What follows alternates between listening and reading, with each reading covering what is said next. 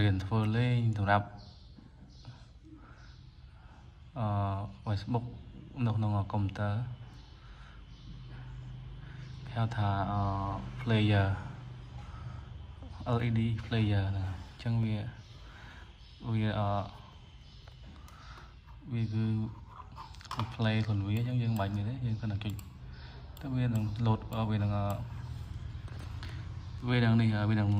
អូសខ្លួនឯងហ្នឹងហើយអញ្ចឹងនេះជាគេអឺមេរៀនមួយដើម្បីឲ្យយើងខ្ជិលអូសអញ្ចឹងយើងចង់ឲ្យ Facebook យើងរាំងទៅអញ្ចឹងយើងអឺធ្វើអញ្ចឹងទៅហ្នឹងហើយបងប្អូនចង់ចេះអឺនៅវីដេអូធ្វើបែបនេះបងប្អូនអាច comment ឬក៏សំណុំពរខ្ញុំធ្វើវីដេអូបានហ្នឹងហ្នឹងនេះជាវីដេអូមួយសម្រាប់បងបងដែលចង់ធ្វើ វីដេអូ Facebook ឬក៏ YouTube អីហ្នឹងហើយនេះគឺជាធ្វើឲ្យ Facebook យើងរាំងទៅហ្នឹងហើយមួយថ្ងៃបោក30នាទីអីទៅវាហ្នឹងហើយដំណើរការហ្នឹងហើយយើងយើងអាចធ្វើបាន4 5ផ្ទាំង